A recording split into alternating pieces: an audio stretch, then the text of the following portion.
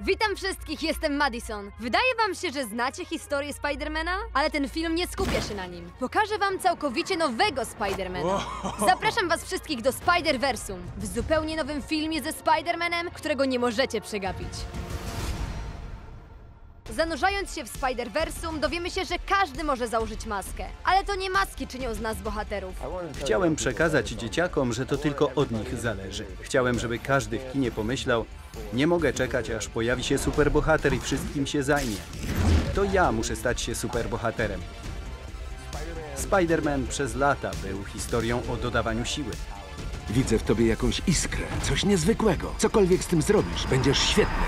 Wy, tak, wy możecie zmienić świat. No ale jak niby mam ocalić cały świat? W ogóle nie myśl o ratowaniu świata. Skup się na uratowaniu jednej osoby. Chcę, żeby wszyscy wychodzili z kina wiedząc, że są silni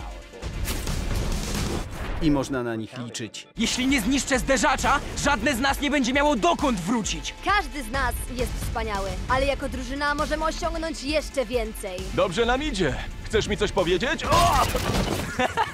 Możecie zmieniać świat w pojedynkę, lecz gdy połączycie siły, drużyna herosów będzie niepokonana. To historia o odkrywaniu wewnętrznego bohatera. Możecie zmieniać świat, każdy może założyć maskę. Może też spróbujecie? Ale ta pelerynka to nie. Pamiętaj, to co cię wyróżnia, Ruszajmy! to czyni z ciebie Spidermana. W prawo, w prawo! W lewo, jazda, z powrotem, już, już, już.